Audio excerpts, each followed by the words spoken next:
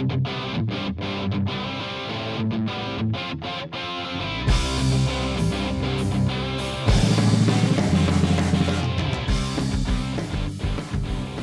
Halloween is over. You know what that means. Marine Corps' birthday's coming up. November 10th, 1775.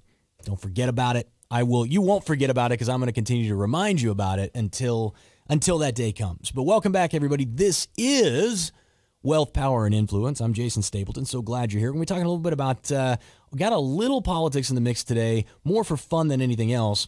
And then we're going to talk a little bit about uh, it's it bothers me that this was said, but I'm going to read a little bit from the article. Lagarde, who runs the uh, International Monetary Fund, suggesting that you, you ought to just be happy with the fact that you have no savings or your savings is getting eaten up uh, and that you just have a job because apparently that's what settles that that's what the the the powers that be have decided settles for uh, acceptable life goals is is just maintaining and having a job and thank goodness for people like her and Mario Draghi who uh, who are diligently working to eviscerate the monetary system uh, and deplete your savings and make it unprofitable for you to invest or save uh, because it's for your own good, right? It's always for your own good. Every time they take a right or a privilege away, every time that they uh, that they modify the rules to benefit them instead of you, it's always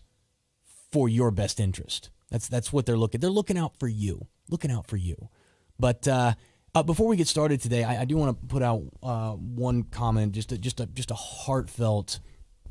Um, I, I don't even know what you say. I, Bruce has been a longtime member of our private Facebook group. He's been an active member of it, and just a wonderful guy. And for years now, he has been um, taking care of, of his very of his son who has some disabilities.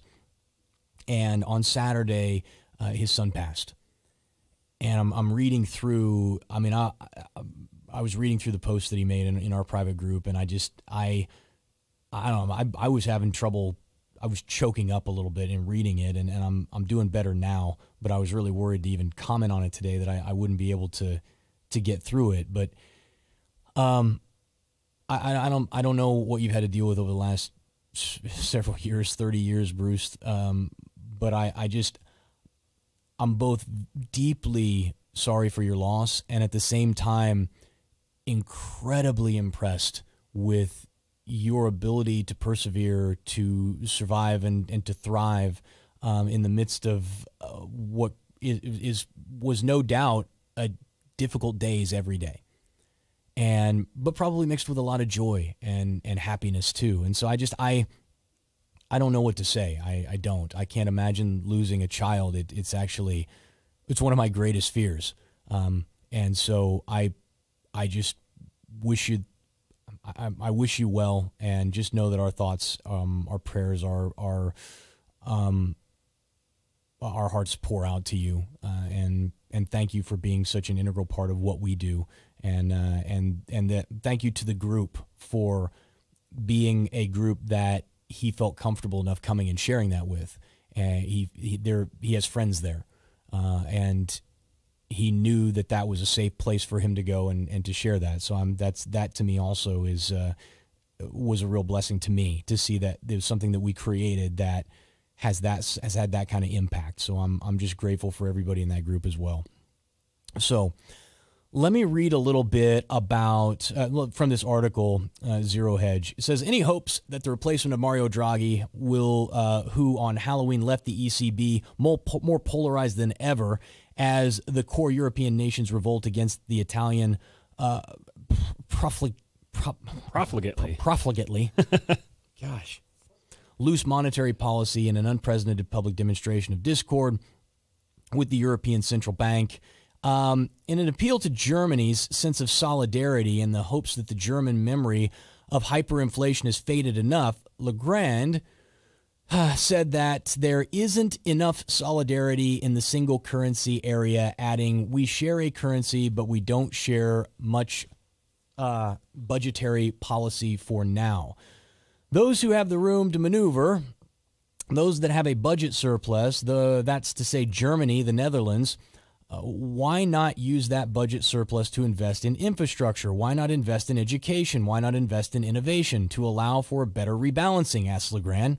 Basically, what she's saying is, why don't all of these, none of these other countries have surpluses? They're, not, they're all withering on the vine because of bad economic policy. And because uh, Germany has such a large export economy, they're looking at them and saying, You have all this money. Why don't you make more bad decisions to benefit all these other countries who who already made the bad decisions? Why don't you spend every penny that you have in reserve? Why don't you end up like all these other countries? Because it would be better if we were all equally poor rather than all equally or unequally successful. This is I'm just I'm baffled by this. It makes absolutely no sense. Um, he, she went on to say, I'm trying to find the section in here where she actually talks about.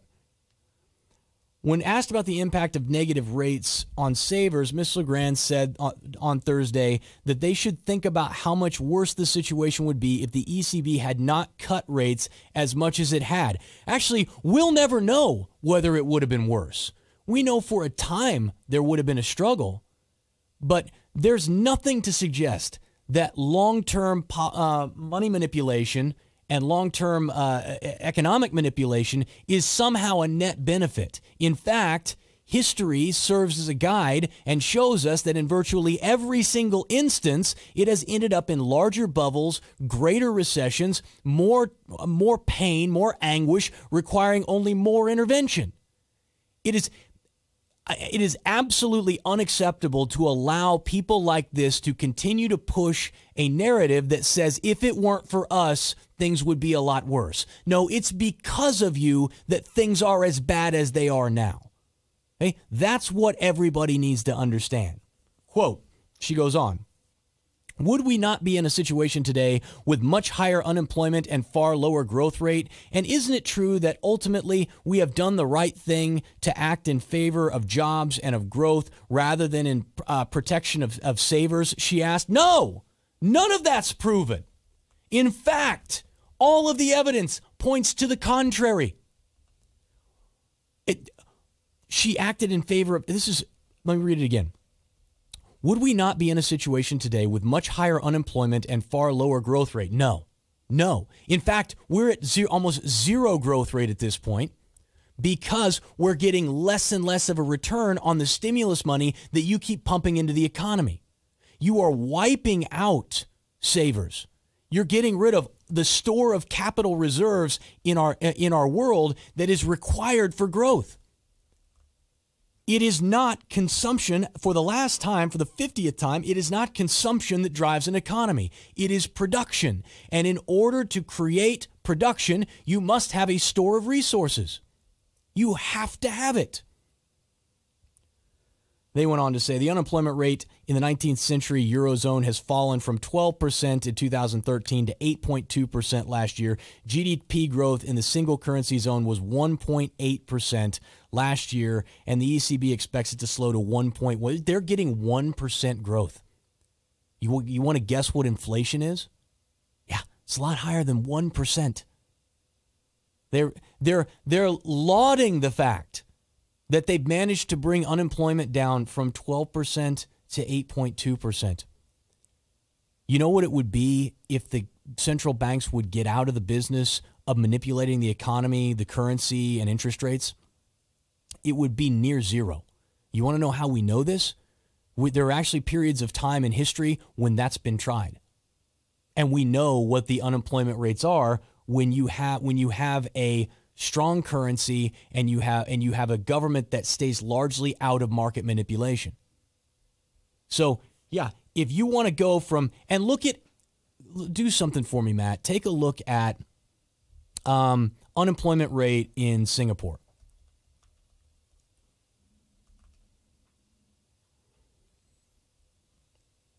And then after that, I'm going to look while you're looking there. Unemployment in Hong Kong. Okay. 2.9%. Hong Kong has a 2.9% unemployment rate. Okay. Now, which what do what do we know about Hong Kong that's radically different than the ECB and all and the collective company uh, countries inside the eurozone? We know that it is a much economically freer society than the eurozone is. It turns out that the more you point the cart towards individual liberty, economic freedom, and non-intervention, the lower unemployment is. 2.2. 2.2% in Singapore which is arguably, I got freest. If you look up freest countries on earth, the Cato does a study every year. Freedom Index. Mm-mm-mm. World Population Review. I'm looking for the, the Freedom Index. Um, there it is, Cato. Human Freedom Index. Let's go and look at this.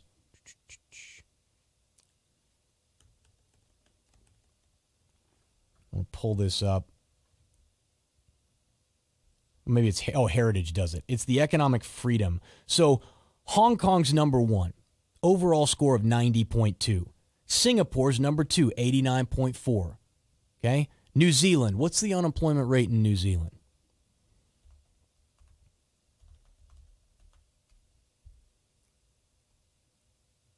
Hmm. Let's look at us. Um, 4.2. 4.2% in Australia, half, or I'm sorry, New Zealand, half of what it is in the Eurozone. Let's take a look at another one. If that evidence wasn't enough, I'm just going down the list here. Freest countries on the earth. Most. Uh, let's try uh, Switzerland. 2.1. 2.1% in Switzerland. Let's try Ireland. Ireland's part of the Eurozone, so they're probably. Maybe we get lucky. 5.3. 5.3, still better. Take a look at Canada.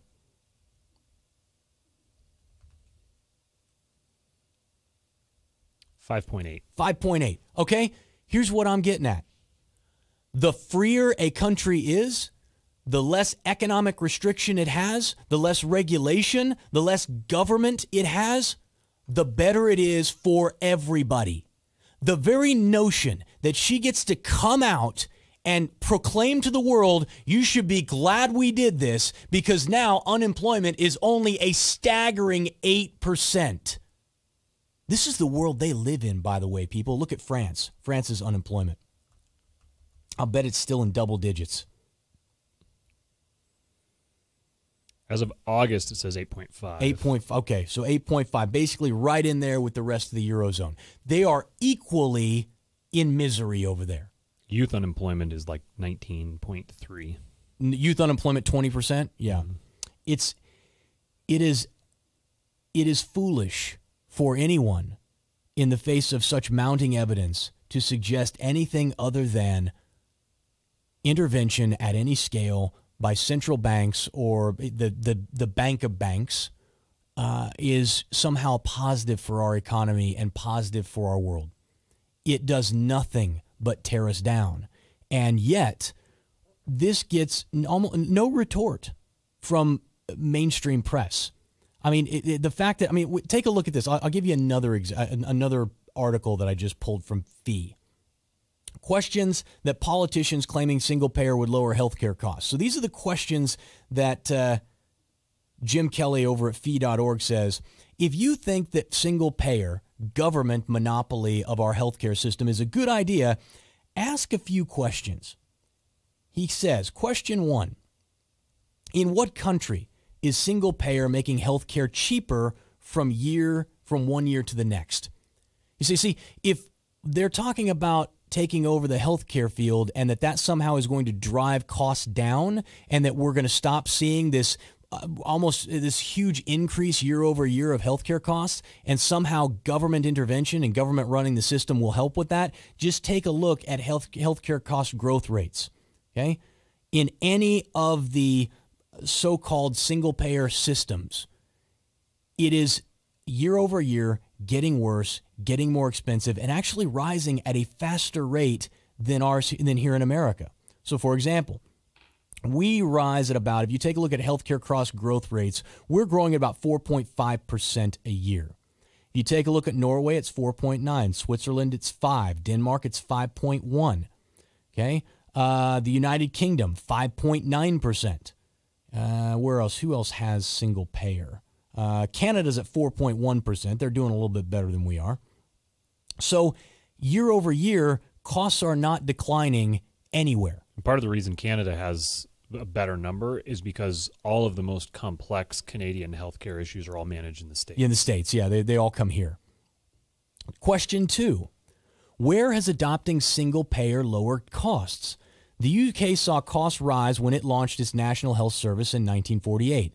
Health Minister, um, somebody, Adwen Bren, bought doctors off, uh, bought doctors off to win support for it. Pent up demand put it over budget immediately, and in the first year, it spent 32 times what it had planned for eyeglasses. That's just one area, right? Over the subsequent 68 years, costs have grown at an average of 4% per year between 1947 and 1951. Uh, prescription volume nearly tripled. Want to know why? Because when it's quote unquote free, you go get as much as you want. This is what causes the massive wait times, the inability to get complex surgery or difficult procedures done, the the the government sending out, "Oh, we're sorry, but you're on a waiting list and you can come get your you can come get your uh, MRI in exactly 7 to 9 months." I mean, it's, it's this is what happens when there is no direct tie to cost. Question 3. What other function has government taken over and made cheaper over time? Certainly not education, not defense, not po- police or fire protection. Can you name one area where government has taken over and reduced costs, just reduced cost, much less increased quality of care? It doesn't happen anywhere ever. Explain to me why it is ever a good idea to put government in charge of anything. What have they done well? Question, uh, what is it? Question, oh, the, question four. How often have politicians voted to put millions of Americans out of jobs? This is a good one. Even if healthcare wastes were easy to spot and fix, single, single payers still won't do it. The single digit profits mentioned above are typical, Less than a dime for every healthcare dollar gets distributed to someone as profit. The great majority goes into someone's paycheck. Maybe a nurse, maybe an advertising copywriter, maybe an IT guy uh, at the FDA. Healthcare is 18% of the U.S. economy, which means 30 million of the country's 165 million jobs. Any healthcare reform that has us put fewer dollars in means fewer dollars out to all those people. What he's essentially saying is if you want real cost savings, a lot of people are going to have to lose their job to get it. It's the only way to do it. And when was the last time that any politician supported widespread layoffs in any industry? Do you think that's going to be a big jobs winner? Try and close a base in any city in America. There's not a single politician who would ever support that. Too many jobs industry builds up around military bases. Entire industries would crumble and would be lost if the base shut down. You can't shut them. Can't get rid of them. Oh. Ah. So it's not going to happen. And essentially, what I'm getting at is this because there is no, they, because they didn't have to do anything to earn the money and because they are not providing for themselves. So what was what was it that uh, Milton Friedman said? He's like there there are four ways to spend money. You can spend your money on you, you can spend your money on someone else, you can spend somebody else's money on you, and you can spend somebody else's money on somebody else. He says the government spends somebody else's money on someone else. And so they have absolutely no incentive to control costs or manage expenses. The goal is just simply to acquire as much possible money as, as, as they can and to create as many programs as they can out of that. There, there's no incentive to, to really ask good questions. Because if you're spending your money on you, you tend to be very discerning about that. You're also very discerning if you're going to spend your money on somebody else. You're going to care about cost, but you're not really going to care about quality. Right, but you don't care so much about quality, right? Then you you ask a question, well, what if I'm spending somebody else's money on me? Well, then we tend to be very generous, don't we? We care uh, we care very little about cost, but we really like the quality, okay? When you talk about somebody else's money on someone else, they don't care about cost or quality. That's the type of healthcare that you're going to get, just like it's the kind of education you get, just the, the type of flagrant and, and unnecessary military spending that we do across the board. No incentive to control costs, no incentive to get the best quality product for the cheapest price. None. And there will never be. So if you can't name a single thing that government does better and that improves either in quality or cost when government takes over, why on earth would you give them any power or authority to do anything? How why what part of our economy should they run? The answer is none. Now this doesn't mean and this is where Matt and I probably disagree a little bit. This doesn't mean that there don't need to be rules that that there is there there's not some structure and order to an economy. The difference that i think uh, that i see is that when those rules are created they should be created fu- foundationally and fundamentally from the don't hurt people and don't take their stuff mentality. Meaning if you are not preventing someone else from pursuing their own self-interest then there shouldn't be a law preventing you from doing it. You should have uh, you should decide pretty much what you want to pay, who you want to pay, when you're going to pay them. All that stuff should be decided by the market. There shouldn't be massive amounts of regulation and uh, and red tape and taxes that go into creating more regulation and more red tape. It should be largely free and untethered uh, like I said, with some very clear cut laws that say, look, you can't steal from somebody else, you can't manipulate, you can't lie, you can't deceive someone else, and uh, in order to get them to purchase. Fraud, waste, abuse, those types of things are are clearly things that that we need that we need to pr- protection against, or we need some form of redress against, right? Um, I don't know how. Do you think of it differently than that? No, I agree completely okay. with everything you just said. I just would say I think I think you don't agree with everything you just said. What do you um, mean? Because you said something like uh, one of the phrases you used is that you think that the the rules should be decided by the market, and I do believe that the rules should be decided by the market. But that that precludes having a central authority that decides the rules and then enforces them. But you because the, the deciding the rules is one thing, but then enforcing them breaks the rules.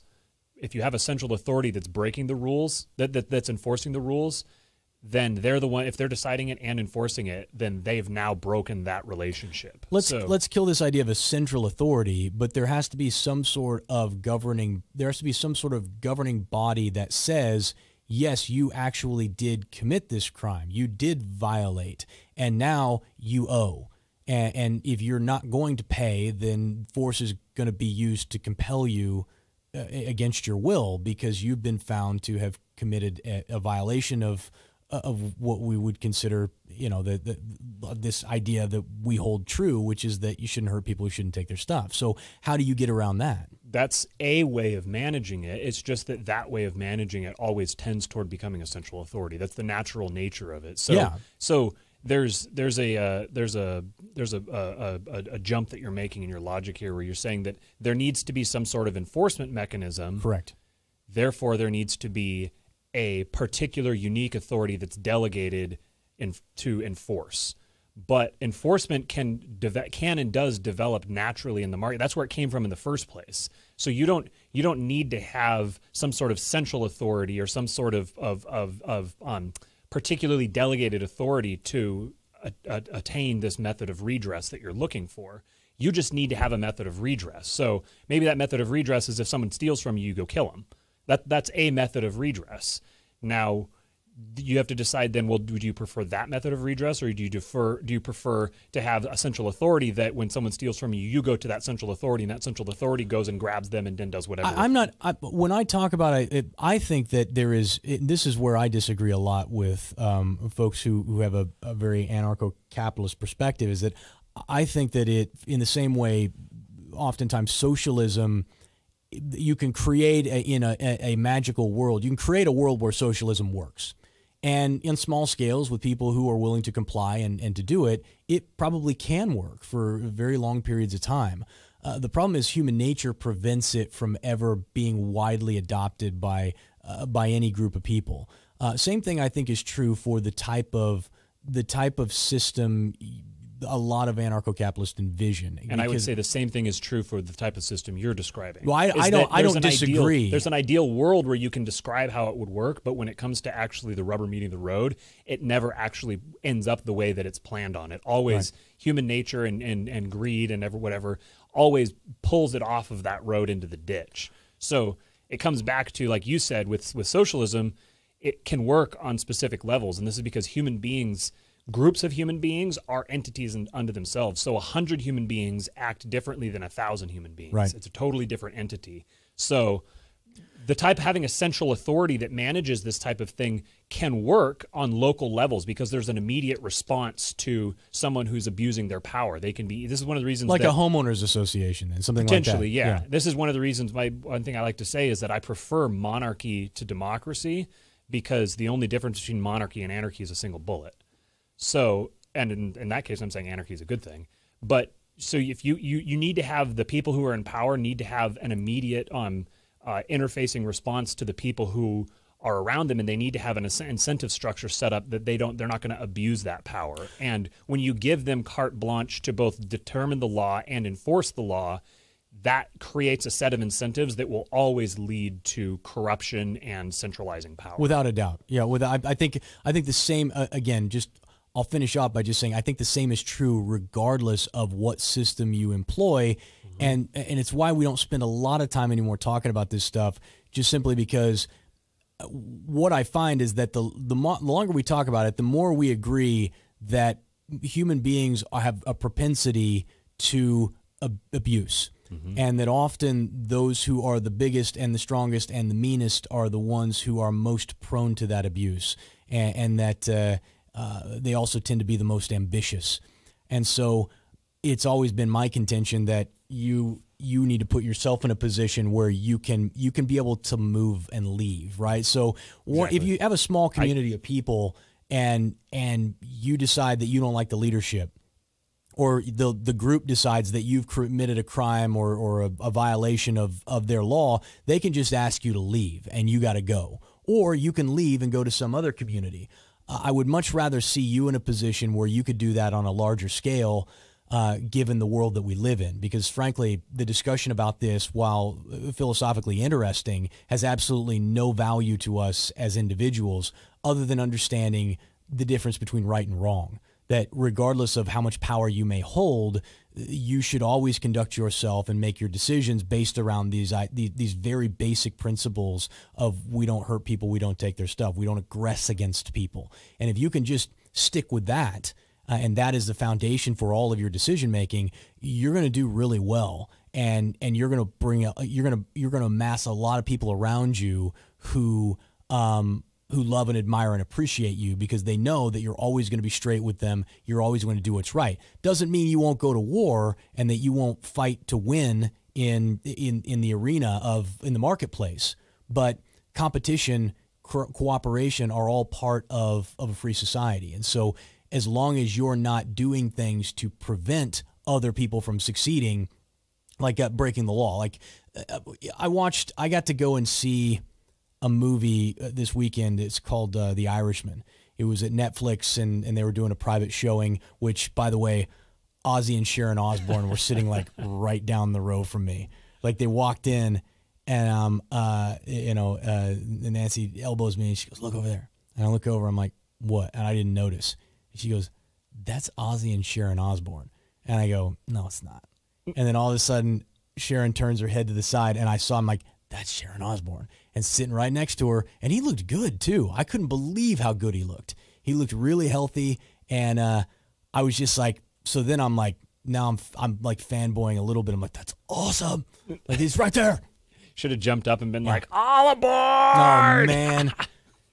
and then what was funny was that I like as soon as as soon as it went dark, right before the credits even came up, I saw two shadows like go to the door, and as soon as the lights came up, as the credits started to roll, they were gone. So they were not hanging out to be with, hang out with anybody. They were, they shot out of there as quick as they could. But I'm watching The Irishman, And one of the things that the unions used to do is they that they used to go after these companies that didn't want to unionize and they would slash the tires on their trucks, they'd firebomb their buildings, they would they would aggress in order to in order to give themselves control and to maintain control.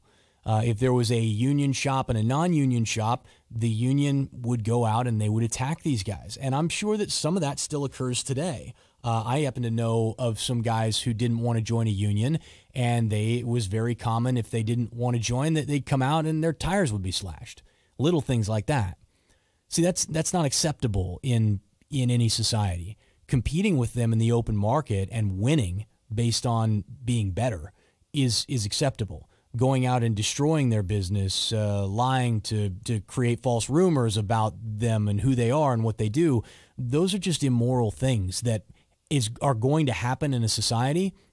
But those are the types of things that I think that there need to be there needs to be a law or order in place in order to facilitate somebody being able to go and say, look, I I've done nothing wrong. These guys are abusing me, and and I need some help because I I can't survive. Otherwise, it's just the biggest companies. Whoever's got the meanest meanest group of people wins out over the people who are trying to play by the rules and do what's right.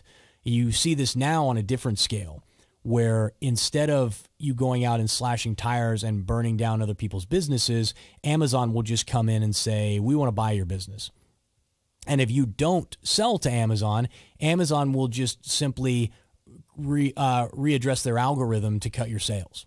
So your stuff just doesn't appear or they'll undercut you for a period of time by offering their products at a cheaper price than yours so that it again cuts into your profit margins. They, they did this to a diaper company. Um, this woman had created this great diaper company, and I can't remember the name of it, but they came to him and said, Hey, we want you to sell. Sell it to us. We want to, uh, because it, they sold basically through Amazon. She said, Nah, I don't really want to. I think it was worth like $10 million or something they offered her. And she said, Yeah, I don't really want to sell. I want to build it. And overnight, they like cut her profits by like 30%. Sales were down by 30%. It was just it was it was it was devastating to their company. That's the power Amazon has. It's the way that they operate and then they go out and they go to government and they petition government for new law, new regulation like in the car companies when the car companies want better fuel efficiency standards and they advocate for that. Why are they doing that? It prevents competition. Those are the types of ways that the modern day uh, companies are blocking competition. But all of it, as Matt said, ties back to a government who capitulates and who assists in that type of malfeasance and in, in, in, that type of criminal activity. And that's what it is it's criminal activity. The only way to get around it is just to continue to be better and and to put yourself into a position always that you're not reliant on an Amazon or anybody else. And to try and make as much money as you can so that you can have as much financial security as possible. A lot of those types of things, it isn't so much that you need to have some sort of enforcement mechanism that goes after those companies after they've done that. That's one approach, but it just doesn't work well because any any institution that's powerful enough to be used as an enforcement mechanism like that will just be a honeypot for so Amazon instead of going after you they'll just buy the government essentially. And this is the this has been the, the case from ancient times to all the way up till now. Um, so really, this is where I'm very compelled by the idea of these are these are engineering problems. You don't need to to force Amazon to redress this this issue that they created. You just need to put yourself in a position where they can't do it in the first place, and that's an engineering problem. You you have to come up with a method of insulating your market share and insulating protecting yourself from them to where it becomes so costly for them to do that that it's not worth it. Um, and this is where techno- technological advancement is headed. This is where um, it, there's there's far more progress to be made this way. Um, I was related to the the issue we were talking about with um, with the economy and with this idea of of negative interest rates and trying to basically it's this Keynesian idea that you have to um, you have to boost consumption in order to stimulate production. It's they have the cart before the horse, and Keynes was the kind of the progenitor of this idea. It was developing before him, but he was the one who really put legs on it, and he knew exactly what he was doing. In the foreword to his the German uh, edition of his general theory book, he wrote, The theory of aggregate production, which is the point of the following book, nevertheless can be much easier adapted to the conditions of a totalitarian state than the theory of production and distribution of a given production put forth under conditions of free competition and a large degree of laissez faire. He knew explicitly that the model he was proposing, which has become the standard model of economic theory, he knew explicitly that it was most most readily adapted to a totalitarian Yeah. state. Well, here's what I here's what I love about Keynes though, and he gets a really bad rap, is that Keynes only cared about what would work. And when Keynes was writing, it was in the very early stages of underst- of our understanding of economics and, and how it works. And he proposed some really incredible theories at the time and was working to implement them. But Keynes loved to change his mind he would say he would talk with the all the certainty in the world that something would work and that this is the way that you needed to do it. And then the second he was proven wrong he would just change. And he'd say okay well no this is the way we need to do it. He was accused of uh, of flip-flopping so often uh, one of his famous quotes was well when the facts change i change my mind. What do you do? Right? And so he was he wanted i think if keynes had continued to live to see the product of what he was suggesting he would have molded and modified his opinions many many times over the years he just didn't get the chance to do it and so when what i loved about him was that he didn't care whether it was a totalitarian state. He wouldn't care whether it was a, a, a complete anarch, a state of anarchy. Didn't matter to him what the society looked like as long as it that was the best functioning society. And and to to put legs on that, it, he didn't care because he was a product of the aristocracy, and this is the mindset of the aristocracy: is they don't care what the structure is, as long as it creates quote unquote the best society. Correct. And the best society is whatever one has us at the top. That's essentially there. I'm not saying this is a sinister perspective. It's it's they're like they say, oh, the national interest of the United States. Well, it's in the national interest of the United States that multinational corporations are successful because if multinational corporations are successful, then I'm wealthier and everyone around me is wealthier. So Right, great. right. So they just don't see the people who are being being downtrodden by it. Right. And this is how you can get the appearance of a of an orchestrated conspiracy when really it's just a bunch of people who are all acting in, the, in their own interests. Yeah, and well, and Keynes and all uh, Keynes being being part of that group wa- was also one who adamantly believed that there were a group of people who should be running things, and then there are other people who should not be running at things. Now, here's the thing.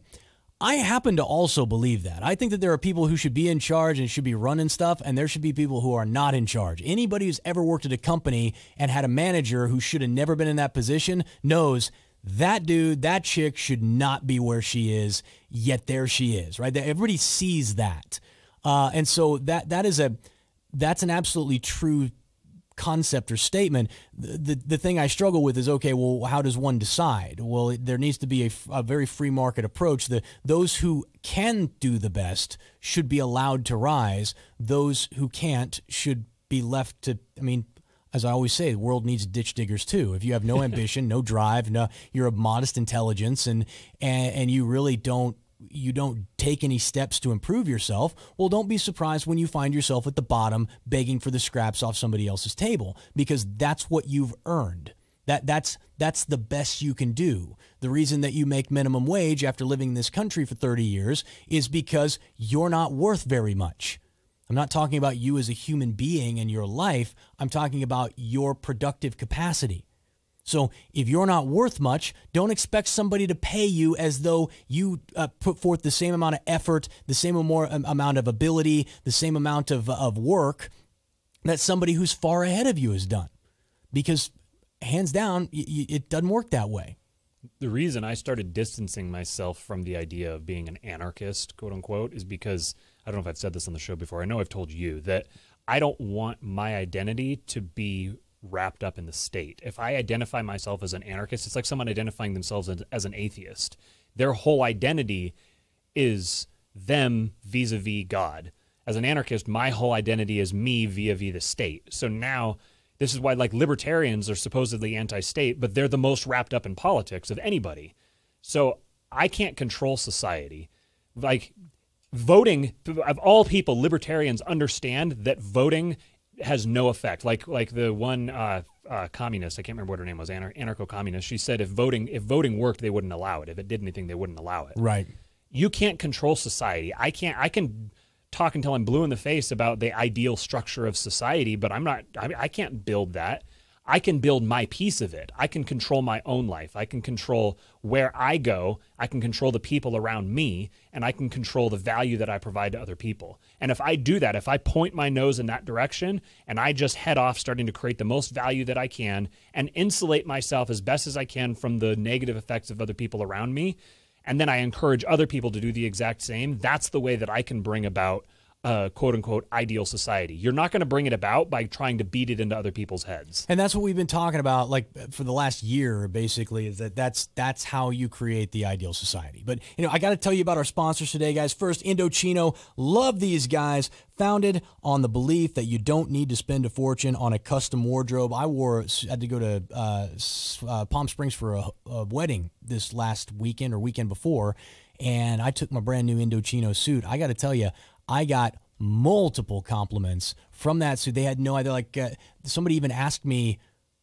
who, like who it was from. I said Indochino, and they're like, "Oh, I keep hearing about that company, but I've never gone in." And I said, you, are not going to find a better suit. Like it, it, you're, you will." I've said I'm never buying another suit, another thousand dollar suit in my life. This is where I'm going, and you ought to be there too. And frankly, um, I mean, I was one of the sharpest dressed guys there. I'm not going to lie. It's not just. I mean, this helps, you know, right in here, but uh, you know, it, was really the suit that made the difference. So, uh, in a, the world's largest made-to-measure men's brand, you can shop it. Like they got 40 locations. Uh, the best part is they're affordable. Almost all of their custom clothing is under $400. I wish I just I I cannot impress upon you how nice these suits are for what you're spending. Uh, the Black Friday event is on now until December 1st. Get custom suits for just 289. Get out of here. What? Get custom suits for just $289, plus the best price of the year on overcoats, shirts, and more. I'm going to go buy another suit. Start your style upgrade now with $30 off your total purchase of $399 or more at Indochino.com when you enter Stapleton at checkout. Plus, you get free shipping that's Indochino.com promo code Stapleton for $30 off your total purchase of $399 or more. Uh, an incredible deal on a made to me- on made to measure clothing. A the you really have no excuses, right? It, it's you, if you don't if you're I, I saw a guy in the Starbucks the other day, and I could tell he was he was an up and comer. You, you, could tell just by how he was dressed, he wasn't making a lot of money, but he was trying to look like he was making a lot of money. And you can typically tell this in a couple of ways. So for those of you who are trying to figure out how do I, if I'm breaking into a new industry or I'm getting started, how do I look like I'm successful when maybe I'm not as successful as I'd like? Uh, first thing is your shirt. Uh, Indochino suits are beautiful. Go get yourself a nice custom tailored suit. Uh, but the shirt that you wear underneath is of critical importance. Huge difference between a $60 shirt and a $200 shirt. Spend the extra money to get the $200 shirt. Okay. Second thing is shoes. Uh, people forget that you're looking at people's feet a lot. And a really nice pair of shoes, again, if you bought a pair of shoes, uh, uh, dress shoes at Payless, looks a lot different than if you went to Nordstrom's or to somewhere at a really nice place and got yourself a four or five hundred dollar pair of shoes. Um, you don't even actually have to go that expensive. They've got three, four hundred dollar pairs of shoes that are really nice. Get yourself a couple pairs of those. And then last but not least is you've got to have the suit tailored. It has to be tailored. And custom tailored is better than just buying off the rack and having somebody tailor it. But the reason I knew that this guy was not doing as well as he wanted to promote was that the suit was nice. He'd bought a nice suit. He even had on a decent tie. But the shirt was cheap, the shoes were cheap, and he had about a I don't know, like uh, they, he had a huge break in his pant leg, which just it made his pants look way too long, like he was kind of swimming in them. And frankly, most men, because they don't wear suits all the time and they don't they don't dress that well on a day to day basis, uh, don't pay attention to that stuff. Just keep in mind, uh, people who have a lot to invest with you pay attention to those things and how you are perceived. The imagery that you promote is hugely important when it comes to whether or not someone's going to listen to you and someone's going to buy from you. So, anyway, Indo, Indochino.com, promo code Stapleton. Now we got Policy Genius. Tis the season to elect benefits through your workplace. Uh, you may be new to open enrollment, but it's a great time to check on your life insurance as well. Policy Genius is the easy way to shop for life insurance plans uh, that are not tied to your job. In minutes, you can compare quotes from top insurers to find the best prices. Only uh, once you apply, the Policy Genius team will handle all the paperwork and the red tape. That's nice. The life insurance you buy through Policy Genius stays with you even if you leave your job. So, whether you're looking looking at your workplace benefits this month um, or you're reassessing your life insurance, make sure you double check with PolicyGenius.com. Uh, Policy Genius, the easy way to compare and buy life insurance. It's your responsibility, guys. Nobody should have to pay to put you in the ground. When you die, at least have enough that they can put you into the ground and that you're, you know, that somebody's not coming out of pocket to take care of you after death. Last one's Plexaderm. Guys, here's the deal. You know that I like to preach stepping out of your comfort zone and that it's mandatory to achieving success. While Stepping out of your personal comfort zone is important to look your best. Those under eye bags, fine lines, and wrinkles can really hinder that. Well, I found a product that helps. It's called Plexaderm Rapid Reduction Serum and is clinically studied serum that visibly eliminates your wrinkles, crow's feet, and under eye bags in minutes. Forget surgery. That's exactly what you need to feel comfortable in your own skin. Yeah, if you've been looking at your mug and going, oh, man, maybe I need to have some work done, give this a try first. See if it doesn't change how you look and feel. I tried it. I love it. So will you. Take action on your life. Go to tryplexaderm.com and use my code Stapleton for 50% off and an additional $10 off. That's right, you get 50% off your purchase plus an extra $10 off. This offer is also available if you want to call 1 800 685 1292. That's 1 800 685 1292 and mention code Stapleton. Plexaderm.com today. Use code Stapleton at checkout. Try plexaderm.com. Okay. Woo! Appreciate you guys being such good patrons of our sponsors, too, by the way. I got. Uh, we got a lot of really great sponsors and they keep coming back over and over again because you guys go and buy the products if you can use them. So I appreciate you all doing that. Thank you very much. Now, let's talk about something else. This recent study that they did in Japan, Microsoft did this study. You all have heard about how giving people three day weekends increases productivity and, and decreases costs. And so there's this big push for for companies to go to four day weeks. And some of you guys work on split shifts where you work 10 hours a day for four days or whatever. And it, that's, that's how you, you are 12 hours a day. I can't remember what the, how it breaks down, but basically you're working a total of five days in four days. Well, they went to Japan and they decided to test because Japan consistently has really low satisfaction rates among uh, employees. And they, they have a philosophy over there that's very much work, work, work, work, work, work, work, and they they've tried a lot of different things to try and improve productivity, in, improve uh, employee satisfaction and happiness. Because frankly, someone who is really happy with their job and happy with the place that they work tend to want to do a better job than somebody who hates their job. So it makes sense that they would want this. Now, Microsoft has tried, last August, they tried a working reform project called the Work Life Choice Challenge Summer 2019.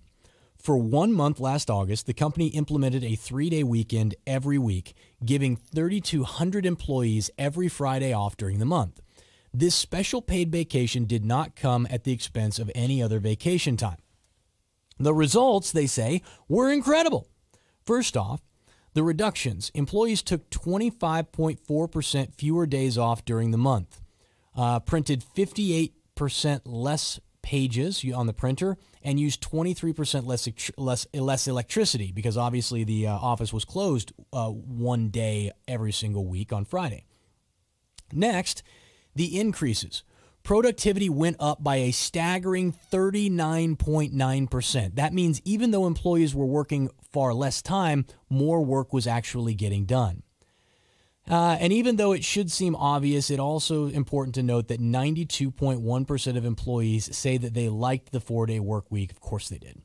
Um, now, before you go instituting a four day work week at your office, I, I want you to consider a couple of things and the way human nature works because I think I, am I am very critical of long uh, whatever the long term productivity effects are going to be of policy like this. So so for example, if you put somebody under pressure, they will tend to perform better and be more efficient because of an adjusted timeline. So as we get closer and closer, I've told you I'm a procrastinator. So I tend to like futz around with stuff until the very last minute, and then I get laser focused and I get a massive amount of work done over a period of time. I have learned to create for myself a way to harness this by working in in blocks in focus blocks where I say, okay, this is a four hour focus block. And for this four hours, here's the stuff I got to get done in this four hours.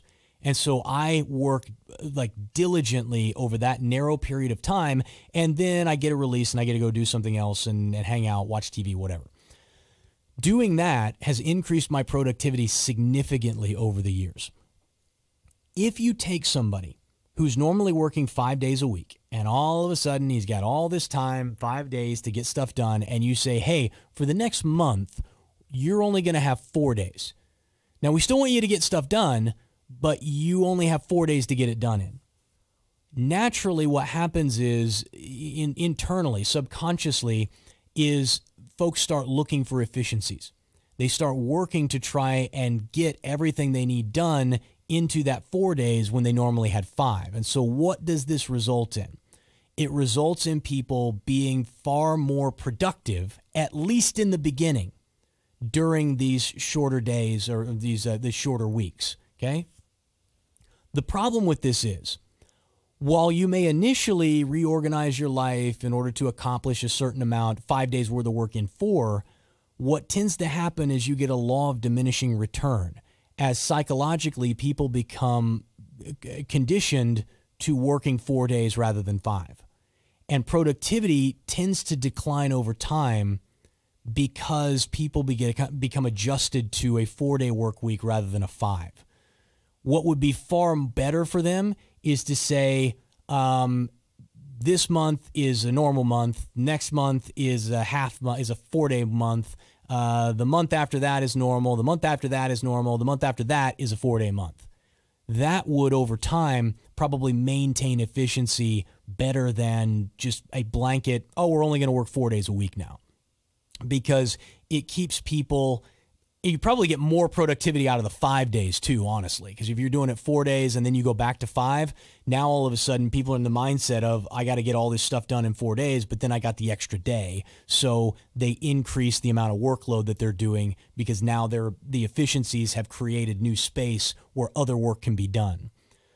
I do think it's uh, the idea of it, oh they took fewer days off. That's that's huge for the company because that means that they're paying them for you know less time that they're not working because what happens is is if you got a Friday off you can go and schedule your doctor's appointment. You can go look at houses or whatever on that Friday rather than having to take a day off work to go and do it because there's a lot of stuff that you can't do during the middle of the week. You can only do it on the weekends. And so I thought this was a really interesting study that you might try implementing in your own company and see what kind of productive gains you can get. Just remember a blanket policy you, you need to do this over a significant period of time to see what sort of productivity increases you're going to get. And you're far better off to modify and to go from four to five days a week back and forth rather than just all once going 100% of the time four days a week. Um, what else we got in here? A couple minutes left in the show. I thought this was funny. Smugglers are now sawing through Trump's wall. They have there's these solid metal bars that they put up on the Trump wall. And I don't how many miles of this do they actually have they actually laid out? Do you know? I, last I heard there wasn't very much. Yeah, it's just it's it's a it's a very small number of miles that they've got. Uh-uh. The breaches have been made using a popular cordless household tool known as a reciprocating saw that retails at hardware stores for about $100. When fitted with specialized blades, the saws can slice through one of the bar steel bars uh, and concrete uh, uh, bollards. Is that bollard? Is that right? In minutes. They got a picture of the wall here with a big, two big holes in it, uh, where they can slide people through. I, I mean, I'm really glad we didn't just dump uh, $23 billion or $40 billion or whatever it would have ended up costing to build this wall, only to find out that with a handheld saw from Home Depot, you could cut through the cut through the pipes in about you know in about three minutes. It says that it's uh, the Trump administration has so far completed 76 miles of new barriers, all of it in areas like San Diego, where the structures replaced older, shorter, and in some cases dilapidated fencing.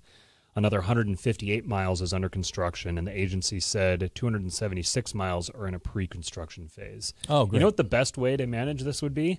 Sell off the border and let the people who own the land be responsible for who comes across it. Yeah, they'll do a far better job of it. I guarantee it. Yeah, just re- yeah, just let them own it. It's crazy, just freaking crazy. I can't even imagine the burden that it would be to be responsible for the entire border between the U.S. and Mexico, all of the all of the that mileage to be responsible for that whole thing, and you have to go and police the whole thing. That's ridiculous. Just divvy it up among whoever wants to own that land and whoever wants to to manage it for whatever reason. Yeah, and then if somebody comes across and they shouldn't have come across and they hurt someone, then the person who let them through is responsible for paying damages. You I could absolutely do that.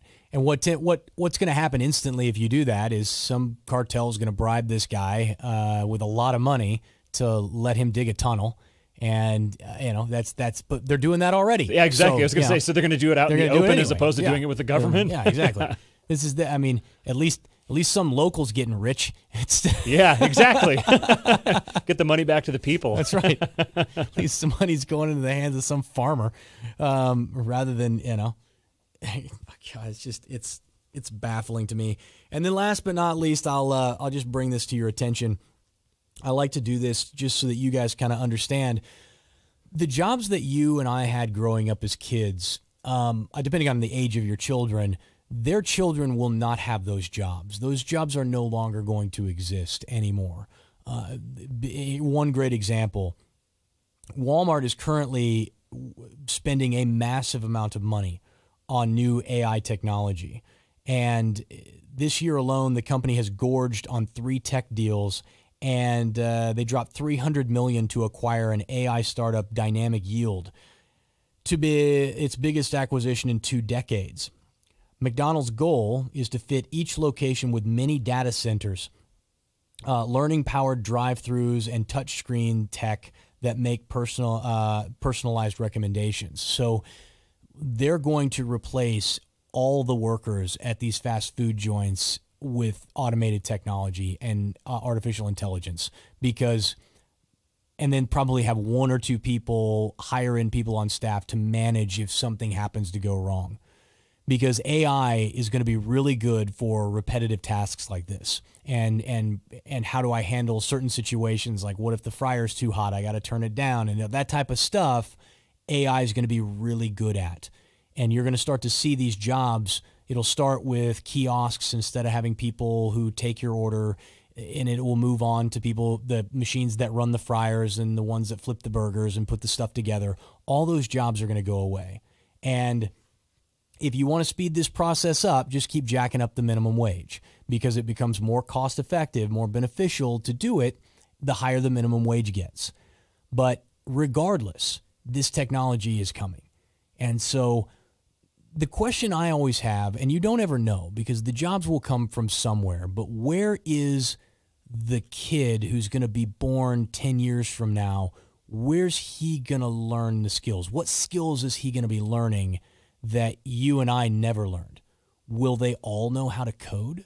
Will they all know how to, you know, will they all be internet entrepreneurs? Will we move back towards a society that's that's largely uh, entrepreneurial, or will there be some new co- company or system that rises out of out of this new technology that that creates new jobs for a whole new group of employees that they can pay more money to. I, I don't I don't know. I can't look into the future and see.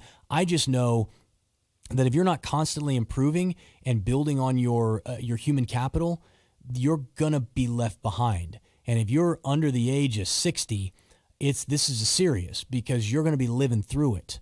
And especially your children and your grandchildren, you need to be you need to be teaching them well. You need to be helping them understand that what the school is teaching them is important is not really important that what they're prepping them for is to go to college to become good worker bees. And that is not going to be something in the future that's going to be required.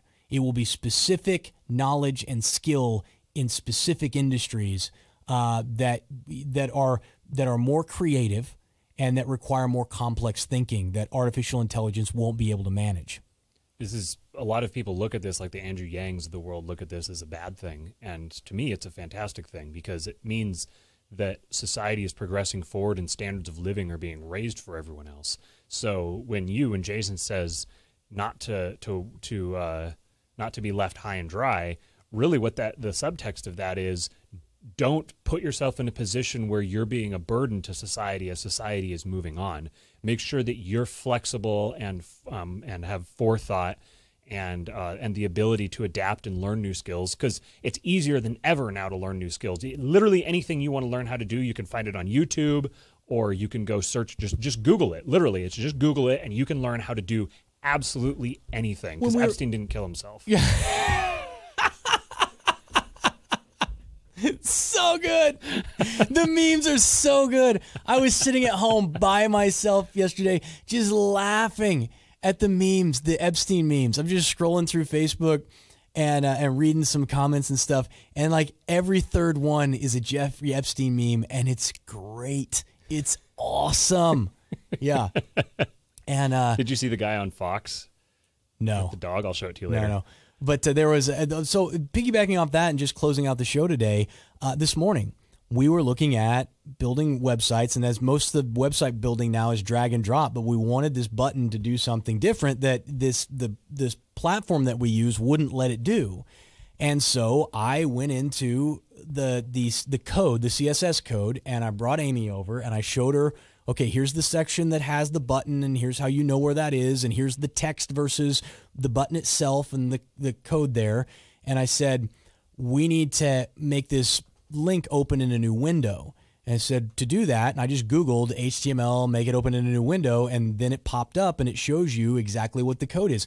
You can, this is how I learned how to code my first website, was literally just like that, going to Google, asking Google the answer, and somebody out there has created entire databases for free of information you can just go pull. Here's how you do it. Here's an example. Here's a different example, a different way. Here's another way you can do it with a different example.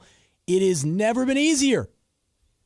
I don't know is an excuse. I don't know how is an excuse. It should be an opportunity. It should be an opportunity. And if you are not right now today focused on what am I doing so that I'm more valuable tomorrow than I am today? You, you, are in trouble. You just are. And you're in the wrong place because we're going to talk about this a lot on this show. Um, with that said, guys, I hope you had a great time. I will be back here uh, on Tuesday, Wednesday, right? Wednesday. Yes. Yep. We'll be back on Wednesday. Wednesday. Then I'm going to be in Vegas on Friday, so I'll have a recorded show for you on Friday. And uh, looking forward to it. Oh, last thing before you go tomorrow's the day. Tomorrow, I am releasing the first video in our three part video series on on branding and on communication. So if you want, I'm going to be teaching you how to rise above the noise and how to become uh, how to stand out in an age where that is very difficult to do online. I'm going to teach you how to once once people see you and they recognize you exist, how to get them to like you and then the last video, I'm going to teach you how to sell. I'm going to teach you some some things about psychology and the way that we process information and what people are looking for that are going to help you sell what you've got in a way that makes people really grateful that you sold it to them and who are dying to get it. So I'm going to do all of that over the course of about three or four videos. And all you got to do is just watch your inbox because I'm going to be sending the email out tomorrow at about eight o'clock in the morning Eastern um, Pacific time. So if you're not on the list, jasonstapleton.com forward slash winners will put you on that list so that you don't miss out. Uh, everybody else, see you on Wednesday.